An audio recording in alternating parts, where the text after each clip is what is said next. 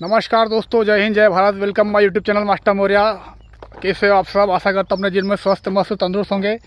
दोस्तों, हम आ गए अमना नदी पर। और ये देखिए, मेरा साथ में मेरा दोस्त है, रोहित नागोरे।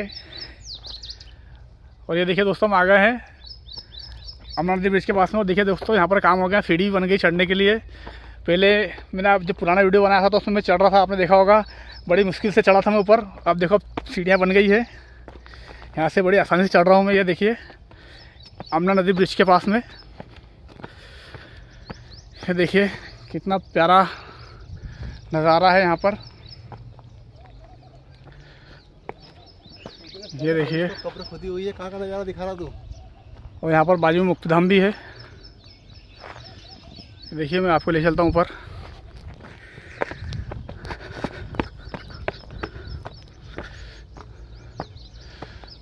ब्रिज पूरा कंप्लीट हो गया आनंद नदी वाला। जो खंडवा से तीन किलोमीटर दूर है। By train. बेस वर्क हुआ है अब यहाँ पर बेस ईटें डल रही है।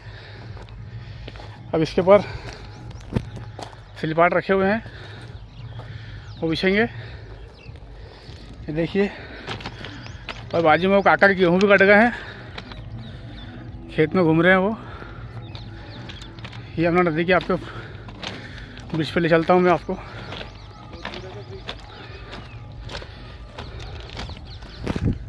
ये देखिए अपना नदी के ब्रिज पे आ गए हम।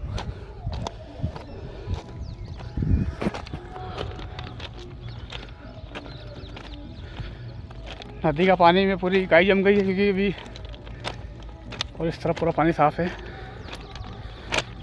दोस्तों, ये खंडवा का गनगौर घाट भी है। यहाँ गनगौर पूजा और छठ पूजा भी होती है। ये ब्रिज पर गिट्टियाँ बिछाने काम चालू हो गया और आगे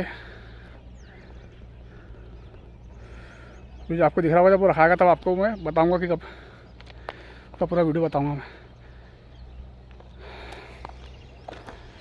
तो मिलते हैं दोस्तों अगले वीडियो में, तब तक के लिए जय हिंद, जय भारत, वंदे मातरम। अभी अमना नदी के ऊपर पटरी नहीं बिछी है।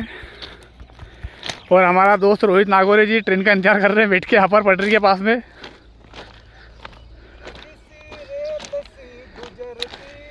सुन लो इनको भी।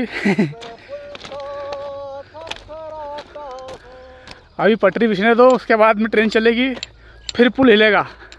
तो मिलता है दोस्तों अगले वीडियो में। तब तक के लिए जय हिंद, जय भारत, वंदे मातरम। स्वस्थ रहें, मस्त रहें। अपना ध्यान रखें, मौसम बदल रहा है। जय हिंद।